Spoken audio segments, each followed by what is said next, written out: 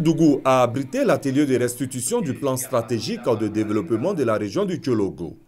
Le conseil régional a mandaté un cabinet d'experts en développement des collectivités décentralisées afin de faire la lumière sur les options à prendre en compte pour mettre le Tchologo sur les rails du développement. Pendant six mois, ces experts ont travaillé dans ce sens. D'abord, nous avons discuté avec le conseil régional qui nous a donné les thèmes de référence du travail. Nous sommes allés ensuite faire des recherches euh, comme on dit, in situ. Et après, nous sommes venus sur le terrain, nous avons parlé aux populations, nous avons discuté avec les populations, nous avons recueilli leurs desiderata. Nous sommes allés voir, après avoir fait un diagnostic de ce qu'il y avait dans le Tchologo, nous avons confronté cela à ce que nous avons entendu avec les populations. Nous avons fait des propositions de solutions.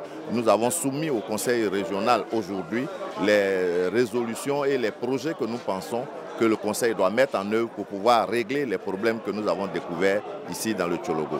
Pour le Conseil régional du Tchologo, cette région ne saurait rester en marge de l'émergence en cours dans le pays. Cette étude nous permet de savoir où les problèmes de santé, où il y a des problèmes d'adduction d'eau, où il y a des problèmes d'électrification, où il y a des problèmes de, réhabilitation des classes, d'écoles ou de construction d'écoles. Donc, avec les différentes priorités. Donc, ça, ça nous permet donc d'avoir un travail facile et d'aller vers les projets. Surtout que c'est un document qui a pris en compte les Le plan stratégique de développement de la région du Tchologo, qui court sur la période 2015-2030, prend en compte trois thématiques.